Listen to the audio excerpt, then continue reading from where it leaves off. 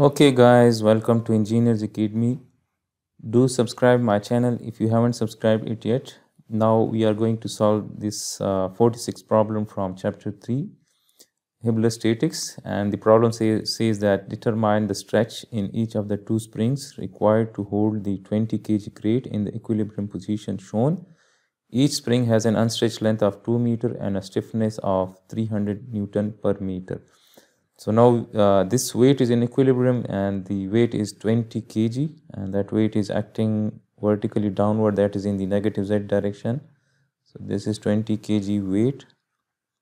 So to find the stretch in both of these springs we have to find the forces in both of these springs right. So let's say that the force in this OA spring is represented by Fa or we can say that the magnitude of the force developed in this spring is Fa and that will be acting in this direction and let's say that the force developed in this OB spring is FB and let's say that here we have the cable.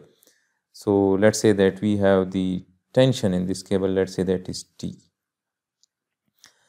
So we have to represent these three forces as a Cartesian vector and this weight is a Cartesian vector. So first of all if I write that T as a Cartesian vector the tension in this OC cable so the Cartesian vector representation of that tension T will be T. Its magnitude times the unit vector from O to C.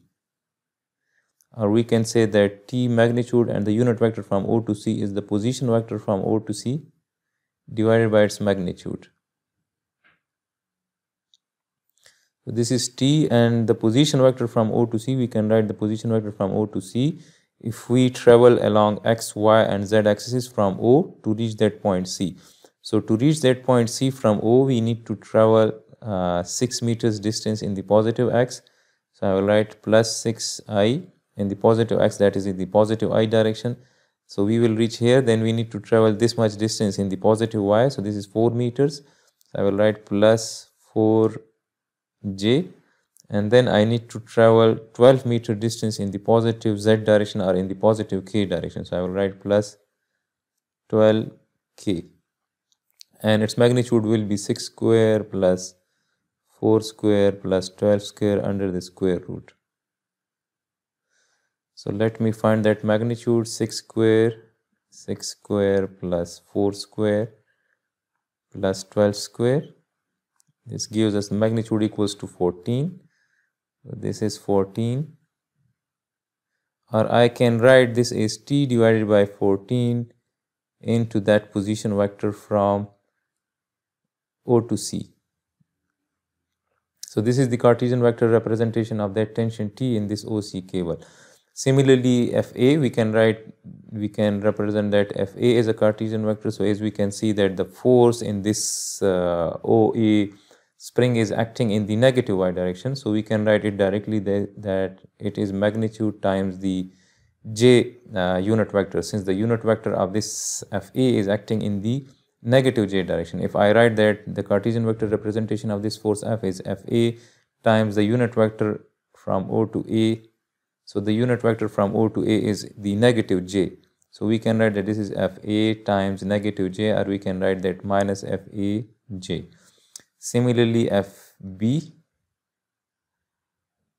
So FB is acting in the negative I direction. So we can write it directly as FB times the unit vector in the negative I direction. So that is minus I. Now we can write that weight as a Cartesian vector. So the weight as a Cartesian vector will be equal to 20 times 9.81 uh, this is the weight uh, this is the mass right? So we have to multiply it with 9.81 so this is 20 into 9.81 so 20 into 9.81 is 196.2 so this is 196.2 and this is acting in the negative z direction. That is in the negative k. So i will write it my with it minus k. So now since the system is in equilibrium so we have to add up uh, all the components and the summation of forces along or we can say that the summation of the x component will be equal to 0 and the summation of the y components will be equal to 0 as well and the summation of all the z components will be equal to 0. so now we have to add up uh, all the x components y components and z components for these four forces so the x component of this tension T is 16 uh, divided by 14. So I will write this as 60 divided by 14 and the I component of this FA is 0 since we have only one, one of its component which is acting in the J direction. So its X component is 0 so I will write plus 0 and the X component of this FB is minus FB its magnitude is minus FB and the weight has only one component is acting in the z direction so its x component is 0 as well. So this will be equal to 0 so we have the equation like this and if i bring this fb to the other side so we will have fb equals to 6t divided by 14 so we have fb in terms of that tension t in this oc cable. Similarly the summation of forces along y will be equal to 0 as well so we have to add up all the j components. So this is 4t divided by 14.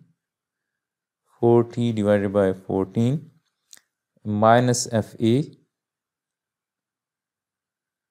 and its j component the j component of fb is 0 and the j component of that weight is 0 as well. So this is equal to 0 or from this we can write that fa equals to 4t divided by 14 so now we have fa in terms of that tension t Similarly, the summation of forces along the z-axis will be equal to 0 or the summation of components along the z-axis will be equal to 0.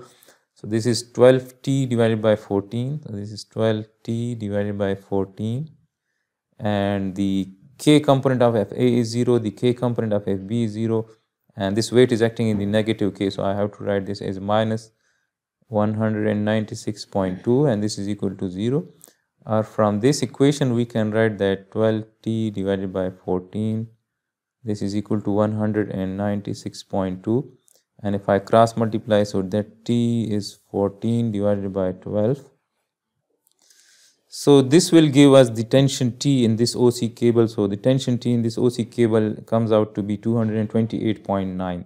So T equals to 228.9 newtons.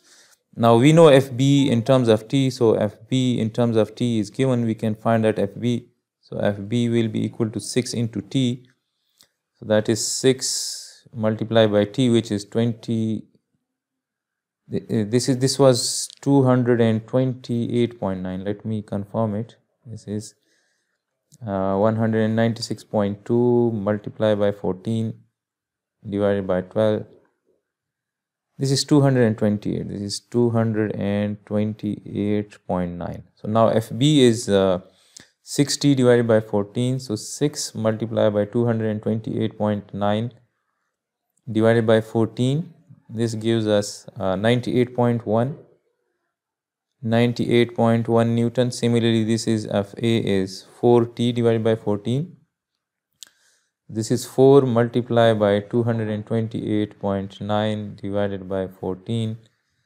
This gives us 65.4 newtons. This is 65.4 newton.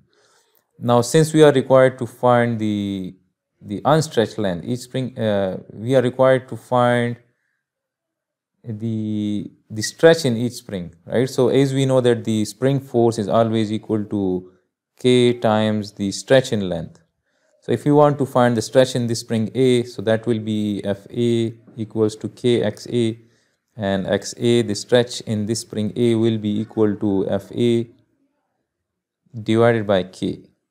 So now Fa is given which is 65 point, that is not given we have determined it this is 65.4 divided by K. So for both the spring the K is 300 Newton per meter so this is divided by 300 so 65.4 that answer divided by 300.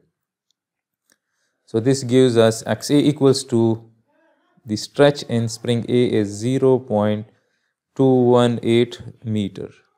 Similarly xb using the same equation fb will be equal to kxb and xb will be equal to fb divided by kb of the spring this is Ka of the spring but both have the same stiffness. So Fb is uh, 98.1 divided by Kb which is 300 so this is 300 and this will be equal to xb will be equal to 98.1 0.1 divided by 300 this is 0.327 this is 0.327 meters. This is xb so this is the stretch in this oa spring that is 0.218 and the stretch in this ob spring is 0.327 meters. So this was required.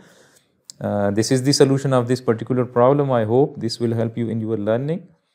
Do let me know in the comment section if it helps in your learning. Also subscribe my channel if you haven't subscribed it yet